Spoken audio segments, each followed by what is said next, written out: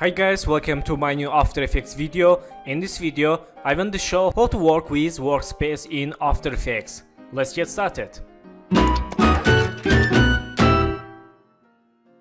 So friends, after create new composition, we can see default interface and default workspace. So we can change this workspace for own animation. Let's go to window and go to workspace and there are more workspace for animation, for color, default, and for effect, minimal motion tracking, paint, small screen, standard text, and undocked panels. So let's go to again workspace and select this FX preset. Let's move to here and select this education timeline. Let's move to right and select this project. Let's move to down. Okay, select FX control. Let's move to here. So I know this is not good for use After Effects and we can reset this workspace. Go to window, again go to workspace and let's select reset all panels to save the layers. Let's click here and where's reset all workspace. So I want to make workspace for me. Let's select this timeline. Let's move to here and let's select this project. Move to right here.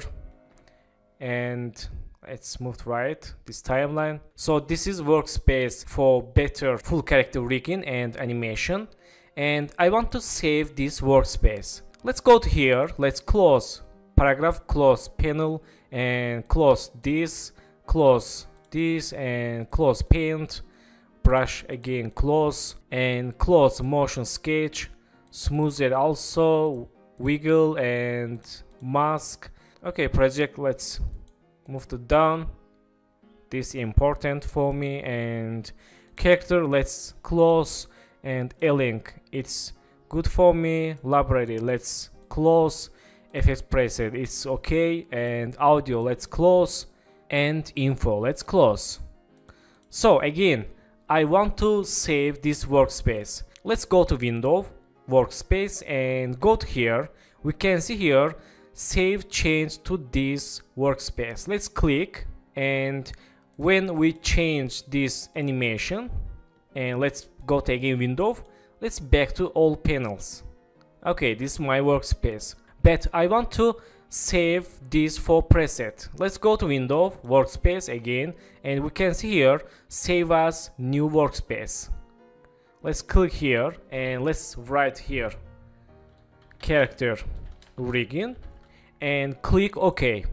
Let's go to again window, workspace and we can see here new workspace, character rigging. Also I can select default and work here with normal videos and when I want to use character animation go to window, go to workspace and I will select character rigging.